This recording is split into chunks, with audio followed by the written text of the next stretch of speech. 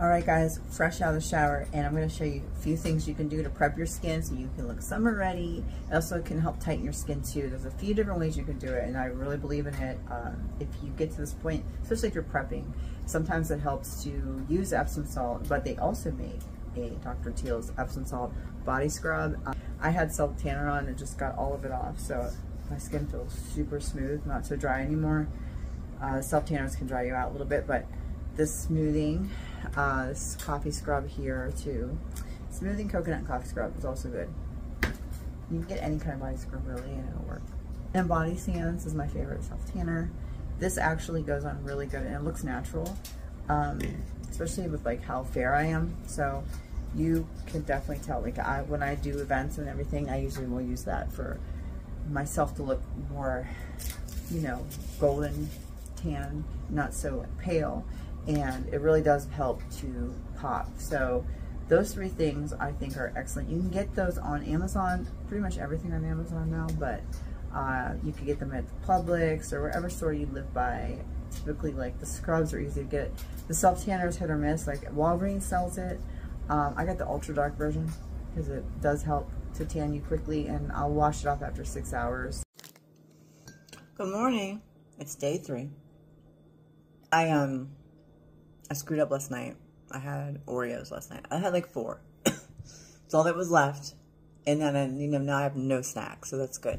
But besides that, um, I don't know what happened. I just felt like having them. And do I weigh myself every day and check that if it affect me? No. Why? Because if it did affect me, it's because I had Oreos. And that's why. And I don't care because I'm not trying to like subtract it or whatever from my, my daily intake today. All I have to do is just get back on my stuff and don't do Oreos again. That's how you do it. I don't like weigh myself because I know that it's always going to be something that's constantly changing. And if it's not changing, it's usually just because your body weighs a certain weight that it wants to stay at. And I've done shows and I haven't even budged from like when I started. I mean, I might have budged like six pounds, but I've gone from looking like, you know, not like kind of like off season, but not big off season to like ripped and still weighed almost the same. So I just, I know that weight is very different for everybody and there's not always going to be a number that you can reach or achieve. And I know people use it as like a gauge for their daily, you know, consumption.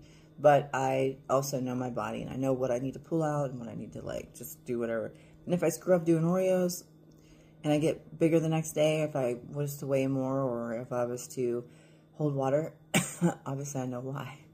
So that's my way of th doing things, but I'm enjoying my eggs and I'm not beating myself up over it because uh, I don't stress over what I eat. Cheers to uh, egg breakfast with, I do two eggs and I do two eggs over easy and I love that with some rye bread. Makes me happy and coffee. I'm doing coffee now. I was doing Monster, so now I'm doing coffee. So it's better. Um, it was a bad habit. I've been doing, doing too many Monsters, so we're back. We're back. Back to coffee.